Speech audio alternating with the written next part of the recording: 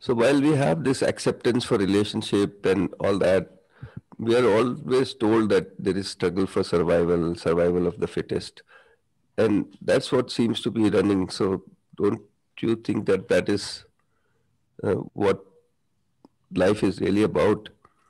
And in science also, we have studied Darwin's theory that there is struggle of struggle for survival and survival of the fittest.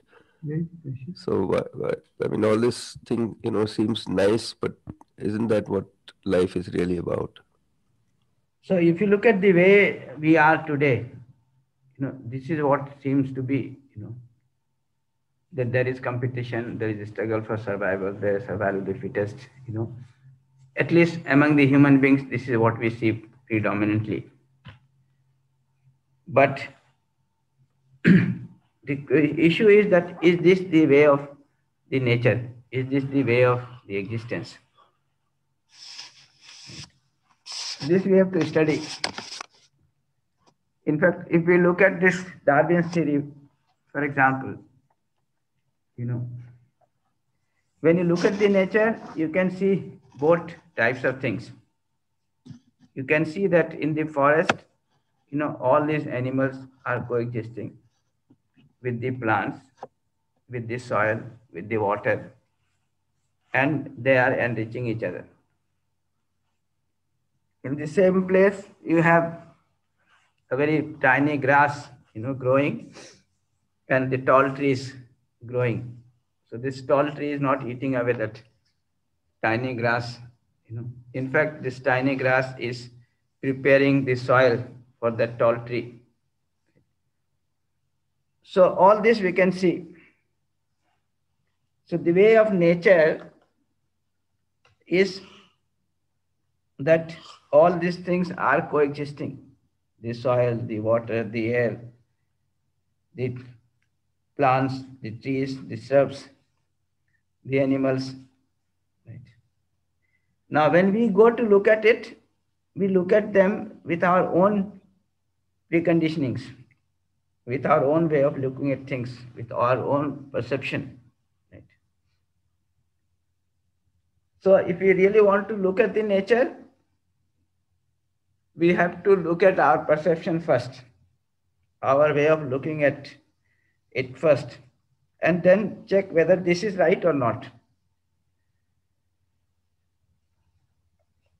The problem is that we, in this society today, have somehow somehow adopted a way of living and way of thinking which is based on opposition rather than based on relationship and harmony. This is the crisis. And once we have adopted and accepted that mode of thinking and you know living, then when we go to see the nature, we see the same kind or similar kind of things happening, though there are other things and they are predominant in nature, but we don't see it because we don't have that perception. So what we are saying is that we have to look at this from two angles. You know, from one, uh, the first angle is that we have to look at the existence, we have to look at the nature, you know, and try to understand the basic design of that nature without being biased from our side. So this is one level of observation. The other level of observation is that we ask our own natural acceptance.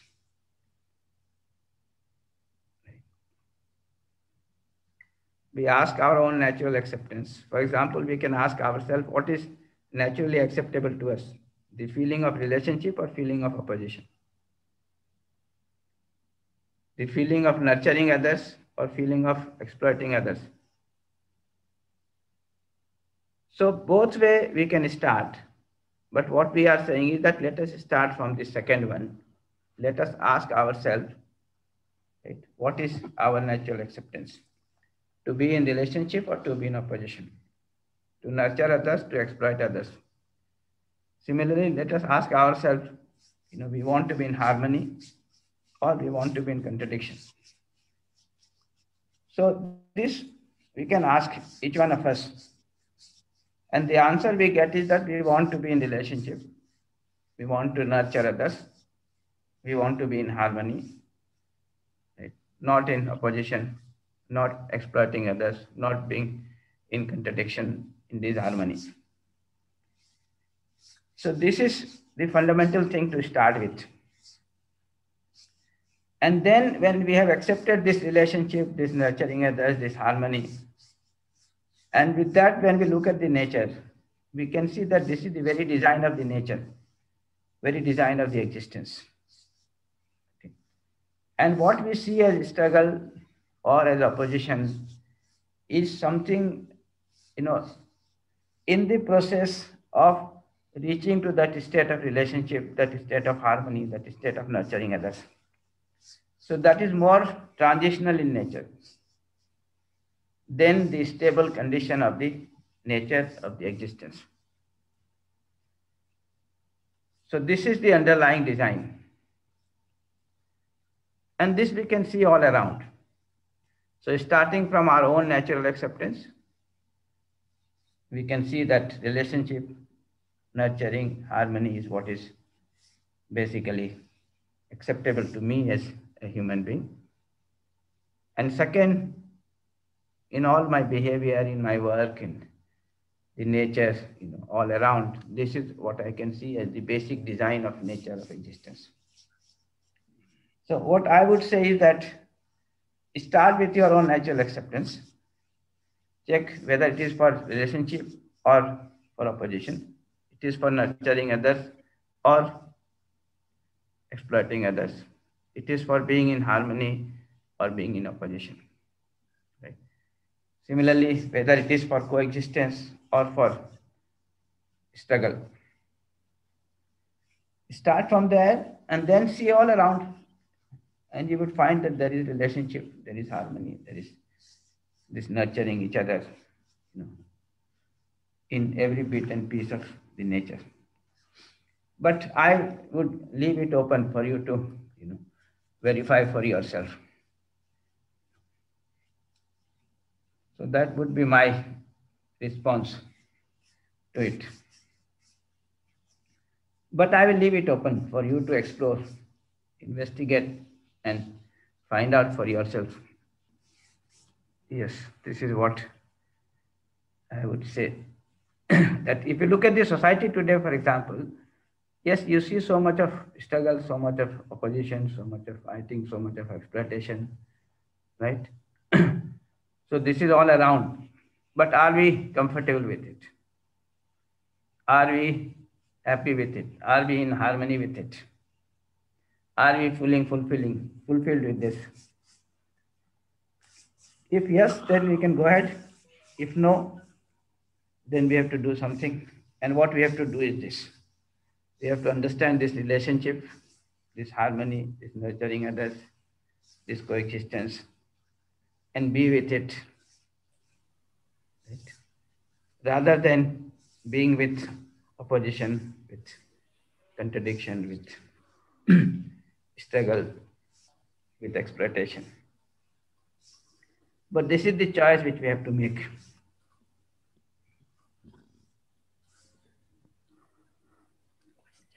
And a lot of this exploration has been done in the past. And what we were talking about as animal consciousness and human consciousness. The finding has been that as long as human being is living with animal consciousness as long as it is assuming itself to be just the body you know and the need of human being as just the need of the body as physical facility then it is likely to miss this harmony this relationship this coexistence right? this feeling of relationship which is naturally acceptable is at the level of self so unless we realize ourselves as coexistence of self and body and see that yes, at the level of self, what is naturally acceptable is this feeling of relationship, harmony, and coexistence. We don't work for it. First, we are not able to see it. Then, when we are not able to see it, we don't work for it. at the level of body, we, we see ourselves as separate from each other and many times in opposition with each other. And from there, this feeling of opposition starts. This feeling of you know contradiction, this struggle starts. And once it is there set in my mind, I see everything around with this same perspective.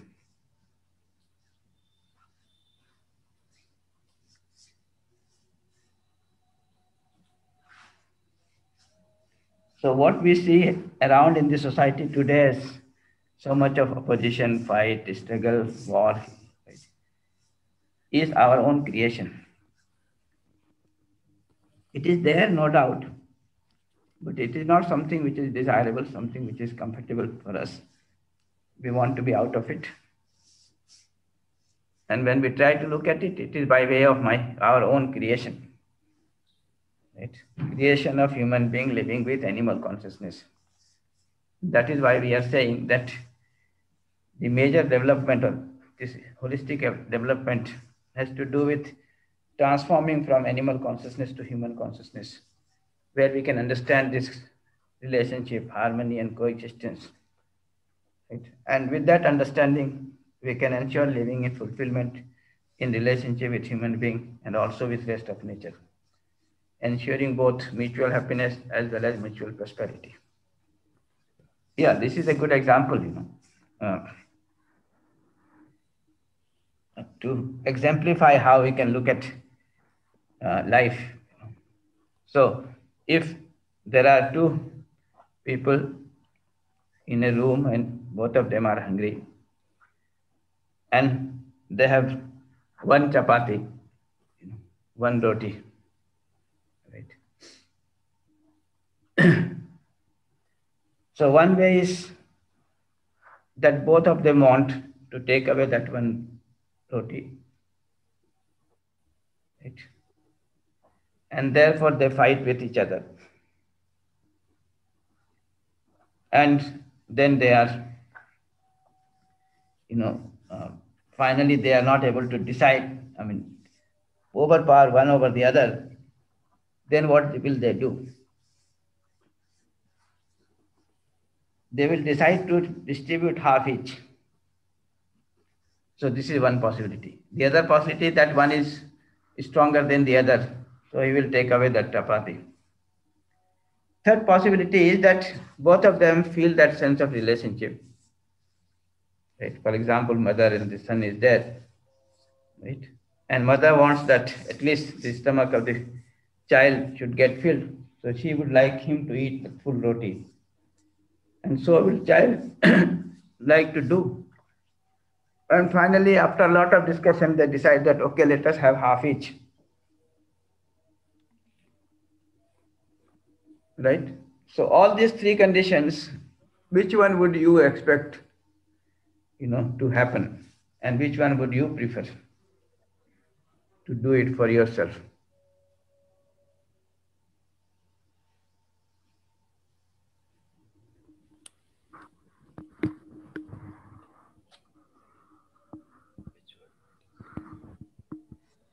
So when we look at it from the feeling of relationship, the problem is solved.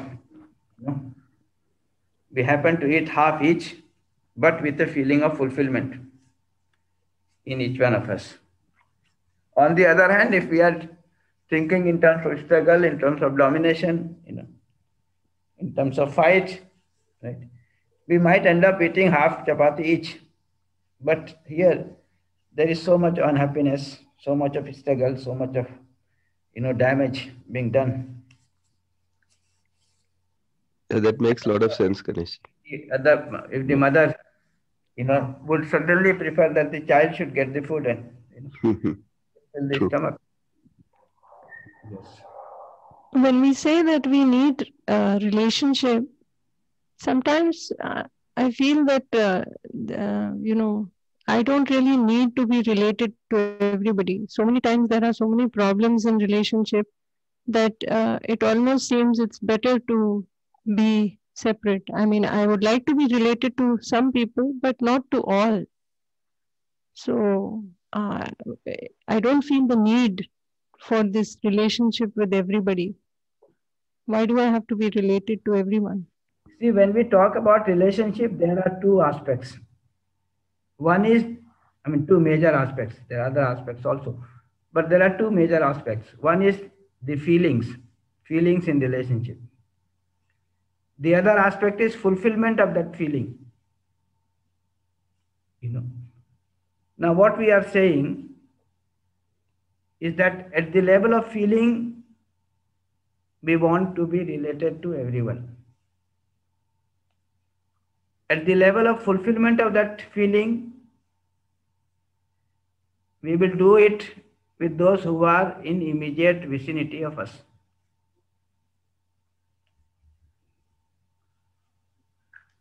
So let me explain this. For example, when I'm traveling in a train, right?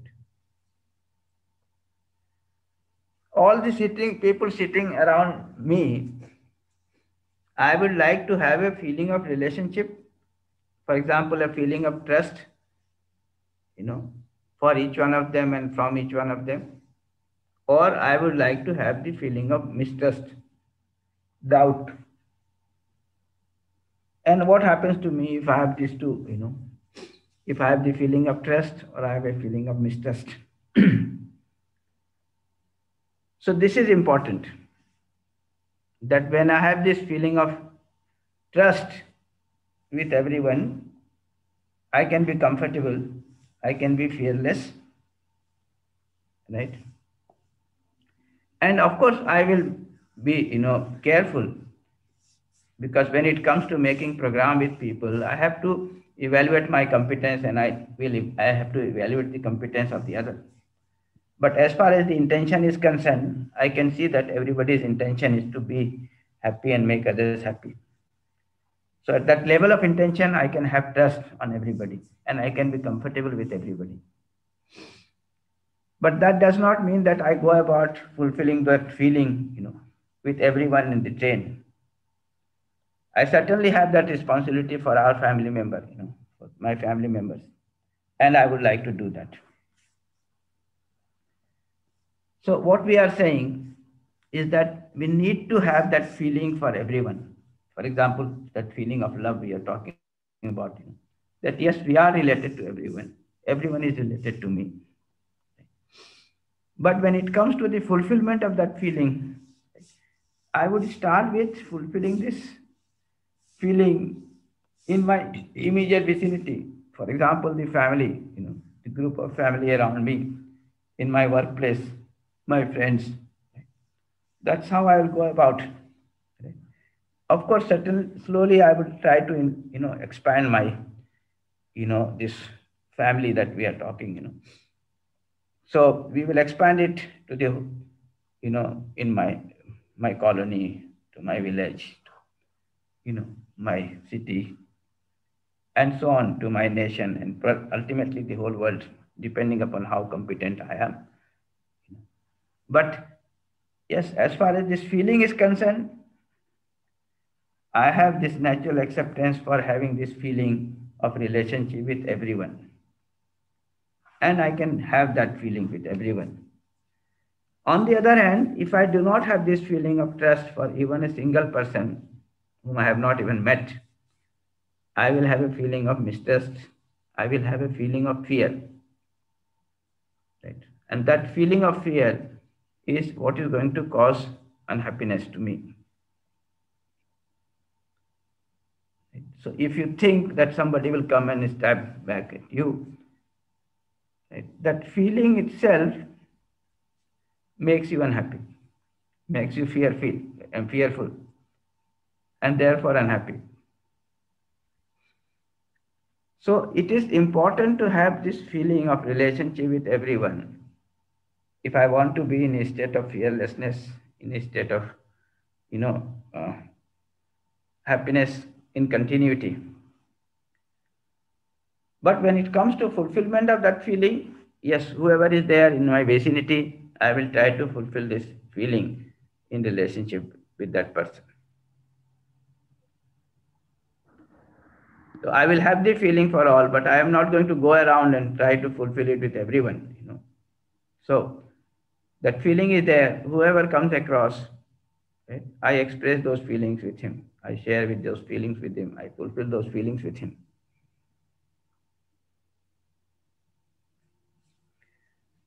So this is one thing. Second thing, which uh, you know, the first question that is there, that in that relationship, I have this feeling of relationship, and in that relationship, I would certainly expect that the other person also has that similar feeling, you know, that those naturally acceptable feelings.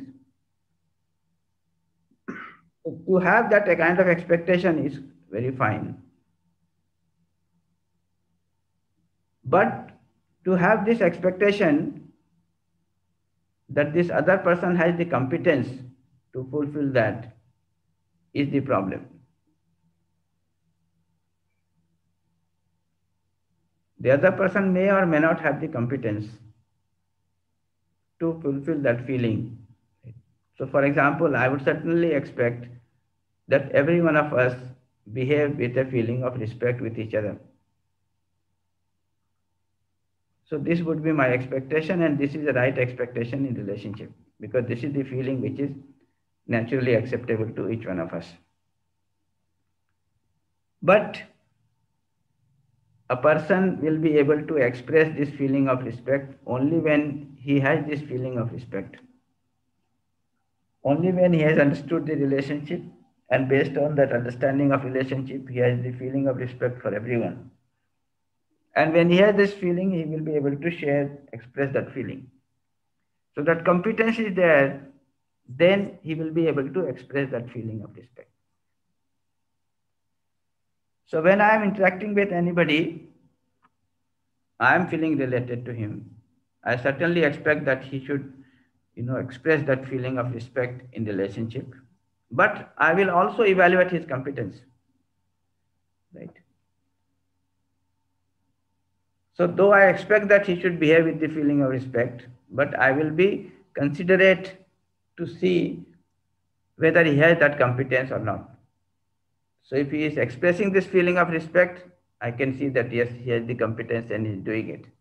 If he is not expressing that feeling of respect, right, rather than doubting his intention, I would you know, evaluate his competence, you know, to find out whether he has that competence or he does not have that competence. And certainly, if he's not expressing this feeling of respect, it only means that he does not have the competence. Right? He does not have the competence to do it. So I would not expect that my expectation is fulfilled every time. But I would certainly expect that in relationship, what will really work is the feeling of respect and not disrespect. But when I look at uh, like some relatives, I mean, uh, why should I keep trying? I mean, I don't have feeling of opposition, but why not just avoid that relationship only? Because it's uh, so difficult to. Uh, I keep working, but from the other side, uh, uh, you know, the other person is not expressing anything. So it seems very difficult to do this. Yeah, it is difficult.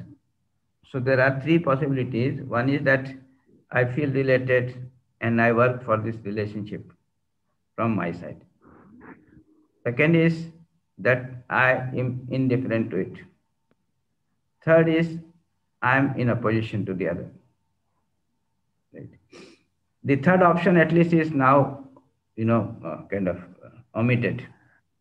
So now we have two options. One is to be in relationship and work for relationship. Second is to be indifferent. So I will keep this choice open for you to decide whether to work, to be, feel it, being in relationship and work for relationship or to be indifferent. I don't want to be indifferent, but uh, uh, I feel it is very difficult to try to do this when the other people don't respond. I'm coming to that then. You know, yes. that if I want to be related and I want to work for you know, relationship, then I have two options. One is that I work for it and I immediately look for the result. Second is that I work for it, okay, and I understand that you know it is a matter of his sanskar, and it will take time for him to understand things, evaluate things, you know, and get rid of his otherwise sanskar. Right? So I work with him. I do whatever I have to do, but I do not expect that you know things will change immediately, and he will start responding rather than reacting.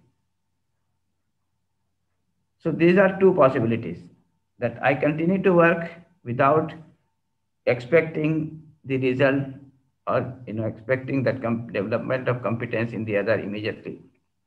The other is that I work for it and I keep myself open that yes, it takes time for anybody to look at his sanskar and evaluate that sanskar and purify that sanskar. Right. Hmm. Therefore, I do what I have to do from my side and I do not have this kind of expectation that immediately the other person should change. So then these two possibilities are there. So we can try both these possibilities and see what works. Mm-hmm. Okay. It takes time for us. It takes time for others also. Yes, yes. When we are working with our sanskar, we can see how hard it is, you know. Mm, yes. Work with our own sanskar. So, so is the case with the other. True. Yes. Yes. Thank you. Yes. So there is a lot of experiment to be done. What I would suggest is just a kind of way of going about, you know, way of exploring you know, for oneself. But each one of us has to work on it. And when we work on it, then we really see, you know, the results. And also see the subtlety of it. This definite conduct, uh, it looks like, you know, people will become like robots. They'll, you know, do the same thing every day. They will do the same thing. So what is that what it means or something else, this definite conduct? Yeah, this is important. In fact, uh, one of the uh, uh, position that is taken in uh, uh, beliefs today is that if you have a definite conduct or if you are asked for a definite conduct by the society, you know, it would mean that you subscribe to the norms of the society right, at the cost of your freedom. So this is the notion. You will become like a machine, you will become like a robot, right? And you will be programmed by the society.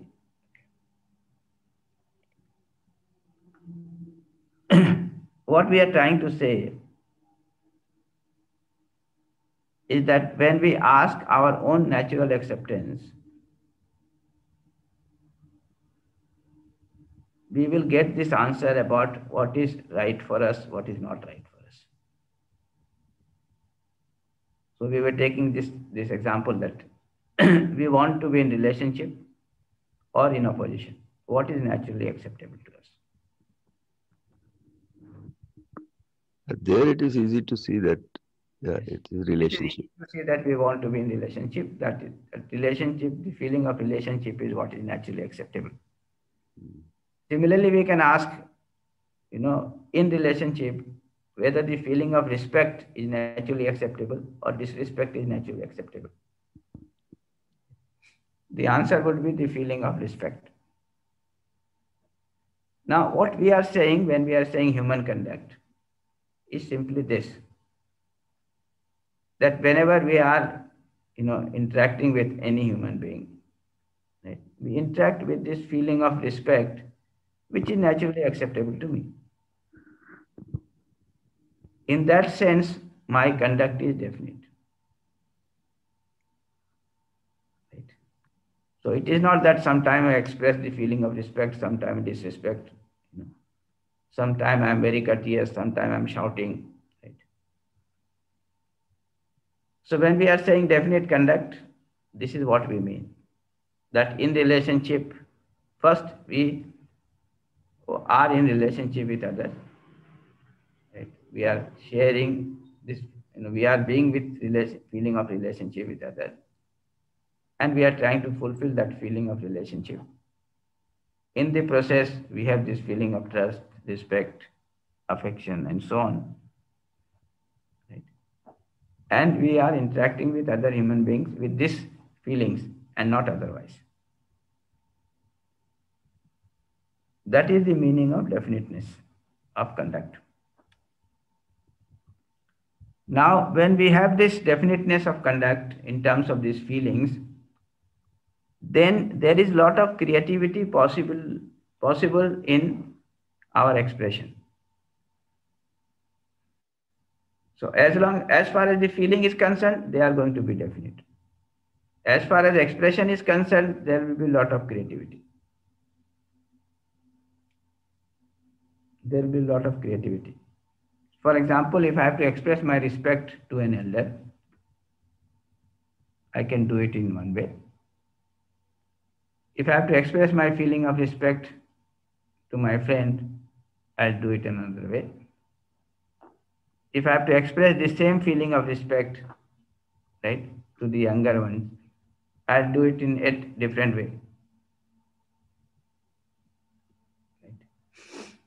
But all these are definite conduct. So if I have to express my respect to an elder, I will go and touch his feet. Right? This is my way of expressing my respect. Right? When I am interacting with my friend, I will take note of his coming. I will say namaste or shake hands. Right?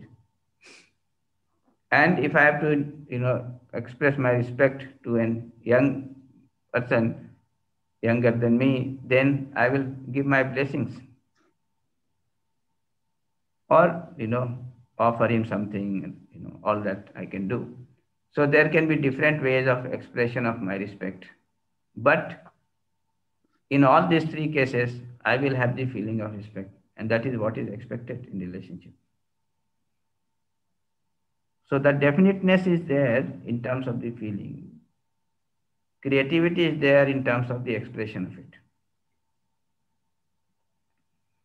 So I do not become a machine, a robot, in this sense that all my expressions become all rigid. But my feelings are definite. My feelings are definite with that, those feelings I'm comfortable within. And I'm expressing this feeling to the other in many ways.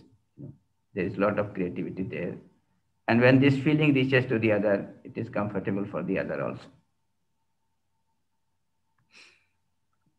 If I can see this, I can appreciate that in different societies, in different cultures, people have developed different ways of expression for these same feelings. So I can understand that, I can appreciate that. And when I'm interacting with anybody who belongs to a different you know, society, a different culture, which has developed a different way of expression of this feeling of respect, then I will learn that feeling, you know, expression. Until I learn, I can at least appreciate, you know, that they have a different way of expressing the same feeling of respect, and I have a different way of expressing it. Right? So when we talk about definite conduct, we are saying we are definite in terms of understanding of things. We are definite in terms of feelings, you know, in our relationship with the other. There, there is definiteness. When it comes to expressing that feeling, there can be a lot of creativity. In fact, you can really be creative when you have these right feelings, these definite feelings. Because if it is the right feeling, it is naturally acceptable to the other. So you will be able to realize your creativity. On the other hand, if you have a feeling which is not naturally acceptable to the other, then you may try to be lot of, you know, have lot of creativity, but the other will not accept it because that feeling is not naturally acceptable to the other. So you might try different, you know, creative ways of dominating others, exploiting others, but the other is not accepting it. So all your trial will fail.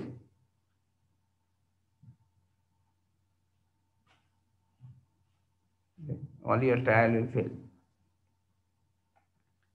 Today, that is the problem.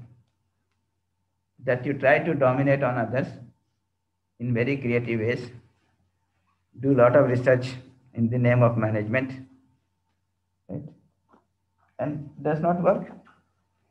There is more and more of opposition, there is more and more of struggle, there is more and more of war. Uh, that's so, why this undivided society sounds like a very you know far away thing, like a utop- utopian concept, something like an ideal state which can't be realized. So all that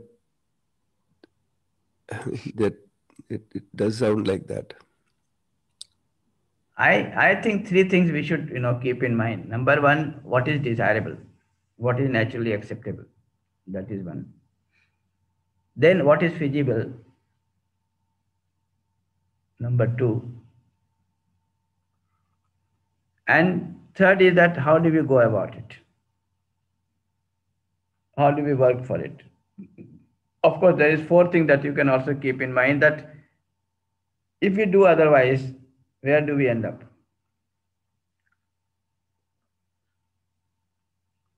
So these four aspects we should consider. So number one, the question is, what is our natural acceptance? To be in opposition, to be indifferent, or to be in relationship? The answer is to be in relationship. Now, if you ask, you know, what is your natural acceptance? To be related to one, to many, to everyone, to none. The answer would be, you know, I want to be related to everyone. That is my natural acceptance. And when I feel related to everyone, that is the feeling of love. And what we are calling as undivided society is an expression of this feeling of love. Whether it can be achieved right now or it will take hundreds of years you know, to achieve it. But this is the expression of this feeling of love. When I feel related to everyone, I belong to a undivided society. Whether it is there outside or not there, you know, at the level of my you know, feeling, at the level of my imagination, it is there. Second thing is how do we go about it? The way, simple way is to work with your understanding first, then work with your feeling, then work with your thought. Right? And slowly you will be able to move up. Of course, it will take time, but this will be our direction. Right? If you look at where we are, what we find is that, you know, what is being promoted in this society predominantly today is not the relationship, but the feeling of position, you know, feeling of struggle, struggle for survival, right? feeling of domination. Now, if that is what is being promoted in the society, we can see where we are going to end up. We are, we are ending up in a condition where every nation every society is trying to dominate over the other society. Every nation is trying to dominate every other nation. Right? They try, want to dominate the whole world. And we can see it is not possible. Now it is amply clear that even that is not possible, right?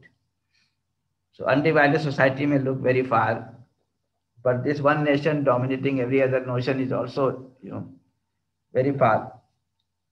But this is the direction we have, you know, acquired now.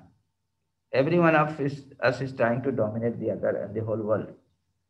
And as a result, you know, all big nations are spending more than 50% of their resources preparing for war and with no result.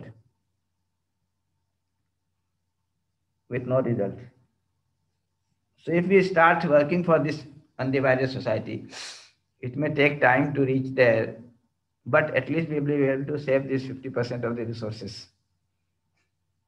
Right? And there will be enough for everyone to eat and fulfill their basic physical needs. So these three things we have to consider. Number one, where we do really want to be. What is our natural acceptance? Right? Then how do we go about it? And then if we don't do this, what else do we do? And through that, where do we reach? So I would say that we have this acceptance for being in relationship, you know, that natural acceptance for being in relationship with one, with many, with everyone. So this feeling of love is something which is naturally acceptable to us. And if we have that feeling of love, right, we have this notion of undivided society? At least I have realized it within myself in case I have this feeling of love. And then it can be multiplied. It can be multiplied. At least it will set the right direction. Even if it takes thousands of years.